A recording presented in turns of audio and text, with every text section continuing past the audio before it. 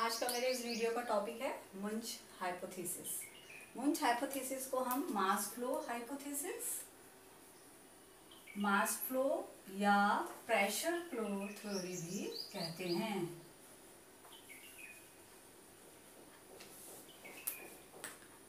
इस थ्योरी को अर्नेस्ट मंच ने प्रपोज किया था, इसलिए इसका नाम मुंज हाइपोथेसिस पड़ा. उन उनके इस एक्सपेरिमेंट को इस तरह से हम शो कर सकते हैं। यहाँ पर आप देखेंगे, एक कं कंटेनर में दो बल्ब हैं ए और बी जो कि ट्यूब डी से जुड़े हुए हैं, और ये कंटेनर खुद सी से आप जुड़ा हुआ है। इस कंटेनर के अंदर वाटर है।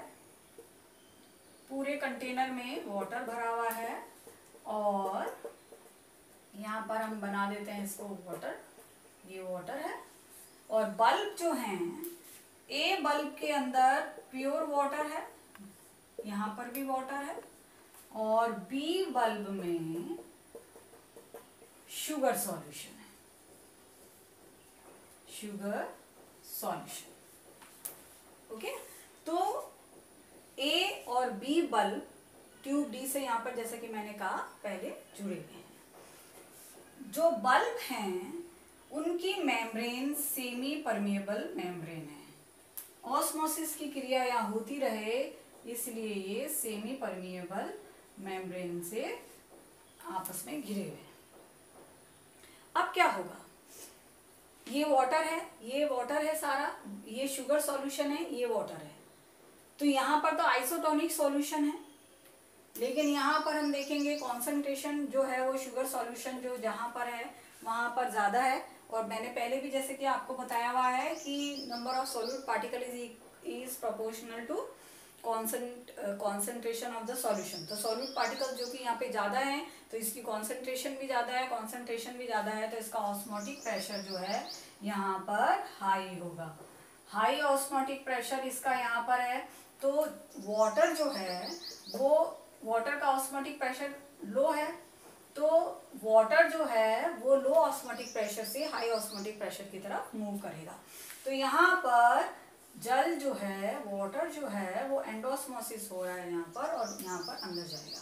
जो वाटर अंदर जाएगा तो ये पूरा सॉल्यूशन ट्यूब डी से होता हुआ, यहाँ पर ट्यूब डी से होता हुआ कहाँ पहुँच जाएगा?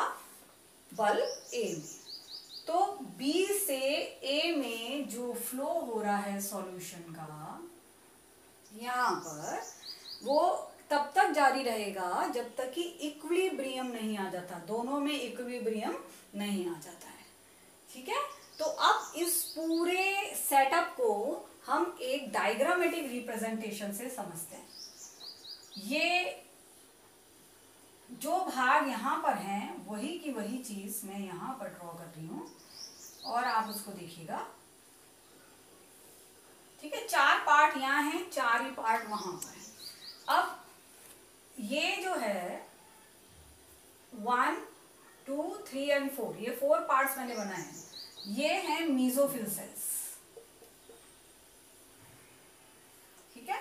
और ये है रूट क्योंकि हम सोर्स और सिंक जैसे कि मेरे पिछली वीडियो में मैंने आपको बताया था मीजोफिल सेल सोर्स हैं, जहाँ पर प्रोडक्शन ऑफ़ फ़ूड हो रहा है और रूट्स जो हैं वो इसको यूज़ करते हैं तो डेस्टिनेशन जो है वो रूट है, इसको हम कहते हैं सिंक तो ये सोर्स है और ये सिंक है. ये फ्लोएम की तरह है और ये जाइलम की तरह ठीक है? अब क्या प्रोसेस होता है? फोटोसिंथेसिस होगा. फोटोसिंथेसिस होगा तो मीन्स ग्रीन सेल्स हैं कार्बन डाइऑक्साइड और लाइट लेके फोटोसिंथेसिस के प्रोसेस में कार्बोहाइड्रेट फॉर्मेशन होगा। कार्बोहाइड्रेट या फ़ूड बनेगा। अब ये फ़ूड बनेगा, जैसे मैंने कहा कि ये क्या चीज़ है? सोर्स क्योंकि ये प्रोडक्शन ऑफ़ फ़ूड का काम कर रहा है तो ये ओरिजिन ऑफ़ फ़ूड है। तो ये सोर्स हो गया। तो अब यहाँ पे कार्बोहाइड्रेट का निर्माण हुआ कार्बोहाइड्रेट का निर्माण हुआ तो क्या होगा? इसका ऑस्मोटिक प्रेशर जो है, यहाँ पर चूँकि सोल्यूट ज़्यादा हो रहे हैं तो ऑस्मोटिक प्रेशर जो है वो इसका हाई हो रहा है। हाई ऑस्मोटिक प्रेशर अगर हम यहाँ, मैं यहाँ लिख दू इसको हाई ऑस्मोटिक प्रेशर तो हाई ऑस्मोटिक प्रेशर है तो वो क्या करेगा? जल ले रहा है। इससे, और जब एसेंट ऑफ़ सेट मैंने बताया था कि जल जो है वो थ्रू जाइलम जो है वो ट्रांसलोकेशन होता है उसका तो यहाँ से ये वाटर लेगा। ठीक? तो जाइलम कहाँ से वाटर लेंगे?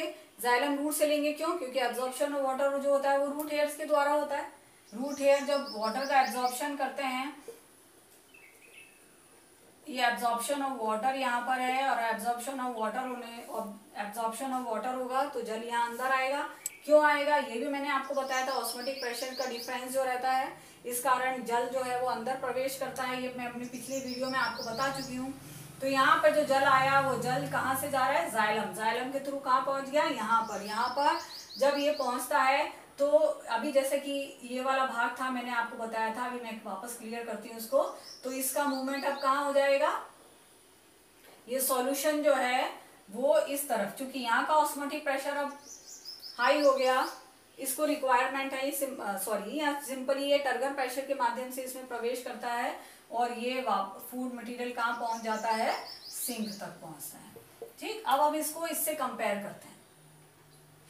मीजोफिल सेल ये बी पार्ट है, जहाँ पर कि फ़ूड मौजूद है।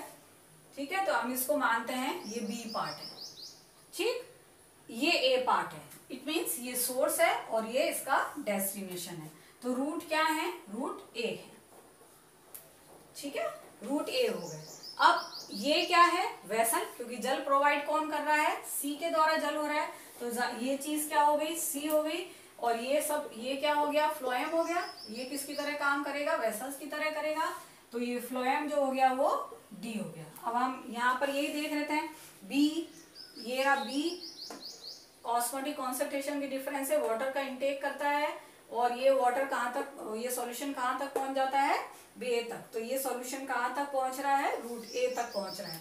और रूट यहाँ पर ये जो कंटेनर है सी ये सब, ये क्या काम करता है? ये इसको जल देने का काम करता है। तो ये पूरा प्रोसेस चलता रहता है। ये कंटिन्यूस प्रोसेस चल, चलेगा। लेकिन इसके लिए एक शर्त है। ये कंटिन्यूस कब चलेगा? जब कि जो यूज़ करने वाला पार्ट है, जो सिंक पार्ट है, वो उसका उपयोग करता रहे मेटाबॉलिक एक्टिविटी में, उसका स्टोरेज ना हो, है ना? अगर इन, जैसे अभी मैंने बोला कि ये यहाँ से यहाँ तक आएगा और साम्य अवस्था आ जाएगी और ये प्रोसेस रुक जाएगी। लेकिन अगर इसको थोड़ा सा मॉडिफाई कर दें और हम इसको, जो इसका शुगर सॉल्यूशन यहाँ आ रहा है, इसको हम निकालते जाएँ यहाँ से। जब ये निकलता जाएगा यहाँ से तो इसको इसकी आवश्यकता पड़ती रहेगी और ये यहाँ से यहाँ तक आता रहेगा। और यहाँ पर हम शुगर ऐड करते जाएँ। तो कंटिन्यूस चलते रहेगी प्रोसेस ये शुगर सॉल्यूशन बनता रहेगा एब्जॉर्प्शन ऑफ़ वाटर होगा, ये यहाँ से यहाँ तक आता रहेगा। और अगर साम्य अवस्था आ गई तो रुक गया, और नहीं तो अगर हम इसको वापस बाहर निकाल देंगे तो ये पूरी प्रोसेस चलती रहेगी। सेम यहीं पर होगा। ये फ़ूड मटेरियल का यहाँ रूट तक पहुँचा। अगर रूट इसका उपयोग नहीं करती है तो ये प्रोसेस यहीं पर स्टॉप हो जाती है। तो ठीक है? तो यहाँ पर ये पूरा मुंच हाइपोथेसिस थी, जो कि उन्होंने इस एक्सपेरिमेंट के द्वारा समझाई और ये डायग्रामेटिक रिप्रेजेंटेशन था। सोर्स और सिंक हाइपोथेसिस देखने के लिए आप मेरा पिछला वीडियो देखिए, जिसमें मैंने पूरी तरह से ये समझाया है कि किस तरह से सोर्स से सिंक की तरफ़ टर्गर प्रेशर ग्रेडियंट के डिफरेंस के कारण फ़ूड मटेरियल का अपलोड होता है अनलोड होता है, उसका फ्लो होता है। तो वो आप मेरा पिछला वीडियो देखिए. Thank you